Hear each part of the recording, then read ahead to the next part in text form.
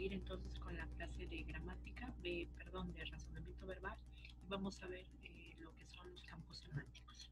Es corto, pequeño y más vamos a enfocar en lo que es eh, los ejercicios del libro.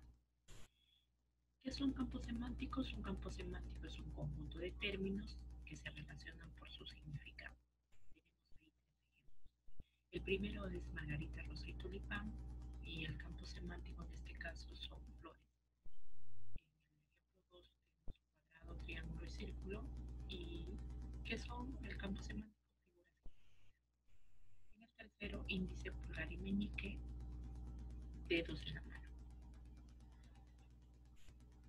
En, ¿Qué es un campo semántico entonces? Conjunto de palabras de la misma categoría que posee un núcleo de significación común sema compartido y sema de diferencia por una serie de rasgos o semas distintos.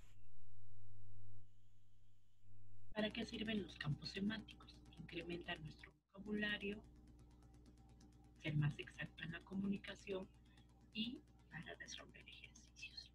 Y bueno, tenemos este ejercicio que hemos estado viendo en clase, que es cómo se desarrolla y cuál vendría sería muy bueno que tú en casa, cuando empecemos hacer los ejercicios de razonamiento verbal, puedas tener tu diccionario a la mano para poder ejercitar este, este caso y conocer las palabras.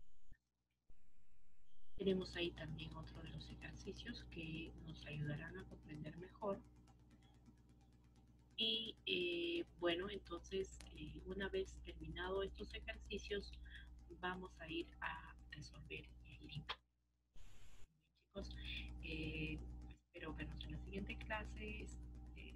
Este, tema es bastante sencillo, así que no va a requerir de, mucho esfuerzo para que lo puedas comprender. Vemos